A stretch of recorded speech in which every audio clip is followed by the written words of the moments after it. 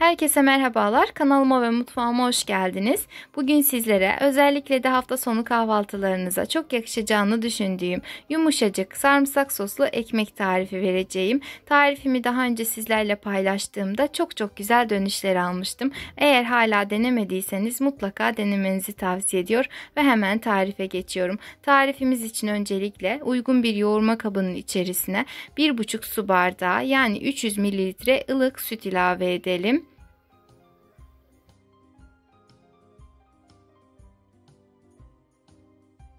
Üzerine 1 çay kaşığı toz şeker, 1 tatlı kaşığı tuz ve 1 dolu yemek kaşığı instant maya ilave edip güzelce karıştıralım.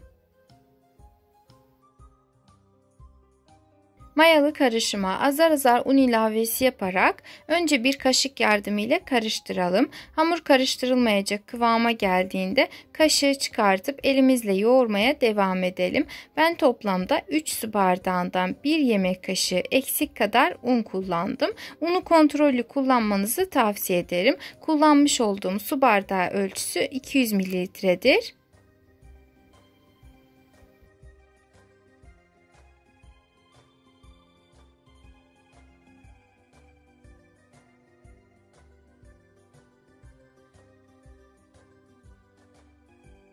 Sonuç olarak hafif ele yapışan bir hamur elde etmeliyiz. Hazır olan hamurun üzerine bir yemek kaşığı sıvı yağ veya zeytinyağı ilave edip elimizle hamurun her tarafını güzelce yağlayalım. Daha sonra üzerini bir poşet veya streçle hava almayacak şekilde kapatıp mayalanması için bekletelim. Ortalama mayalanma süresi 45-60 dakikadır. Mayalanma süresini kısaltmak için üzerini bir bezle örtebilirsiniz. Hamurumuz mayalanırken biz geçelim sarma sarımsaklı sosumuzu hazırlamaya. Bunun için 1,5 2 yemek kaşığı kadar oda sıcaklığında beklemiş tereyağını uygun bir kasenin içerisine alıp üzerine bir tutam kadar ince kıyılmış maydanoz ilave edelim ve sosumuzun olmazsa olmazı olan sarımsakları ince bir şekilde doğrayalım. Ben toplamda 5-6 diş kadar sarımsak kullandım. İsteğe bağlı miktarı arttırıp azaltabilirsiniz. Doğramış olduğumuz sarımsakları da üzerlerine ilave edip blenderdan geçirelim.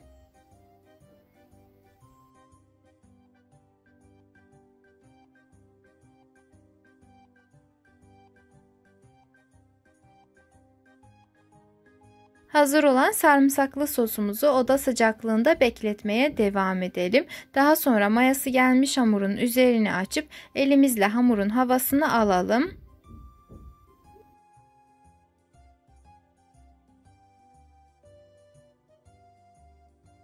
Hamurdan ceviz büyüklüğünde parçalar kopartarak bezeler haline getirelim.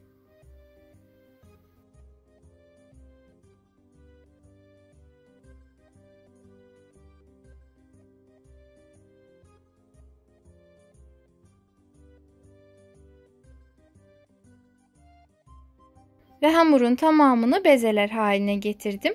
Hatta hazırlamış olduğum bezelerin de tekrardan mayası gelmeye başladı. Şimdi ekmeğimizi pişireceğimiz tepsiye alıp içerisini sıvı yağ ile veya tereyağı ile güzelce yağlayalım. Yağladıktan sonra ilk yapmış olduğumuz hamurdan başlayarak elimizle güzelce açalım.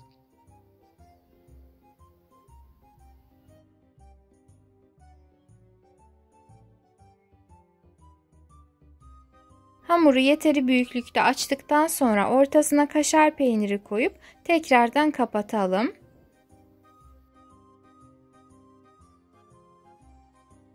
Diğer bezelerin tamamına da aynı işlemi uygulayarak tepsimize dizelim.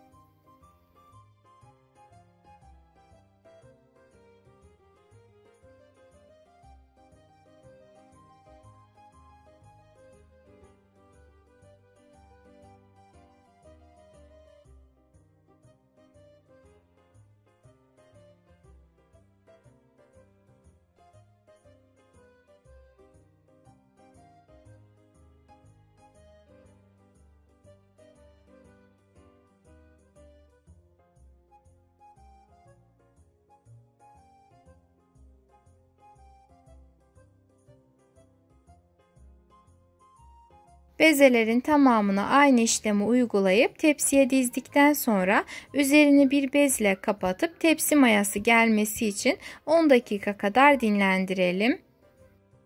Tepsi mayası gelmiş ekmeğimizin üzerini açıp üzerine önceden hazırlamış olduğumuz sarımsaklı sosu sürelim.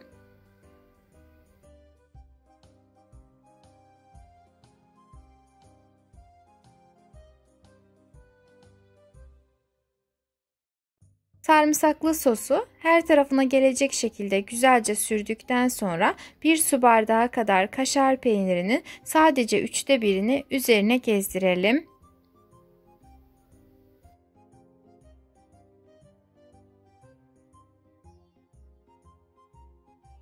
Hazır olan ekmeğimizi önceden ısıtılmış 180 derece fırında 7-8 dakika kadar pişirelim.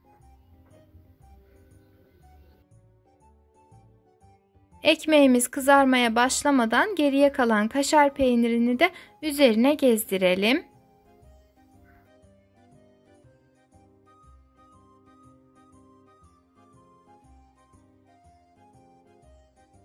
Ekmeğimizi tekrardan fırına verip üzeri tamamen kızarıncaya kadar pişirelim. Eğer kızarmış kaşar peyniri sevmiyor iseniz pişmesine az kala üzerine ilave edip sadece eritebilirsiniz.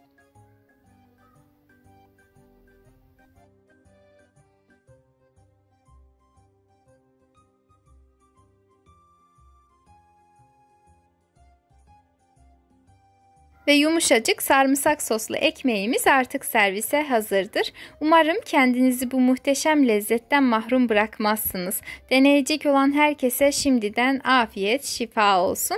Eğer videomu beğendiyseniz bana destek olmak amaçlı beğeni bırakabilir, emoji dahi olsa yorum yazabilir.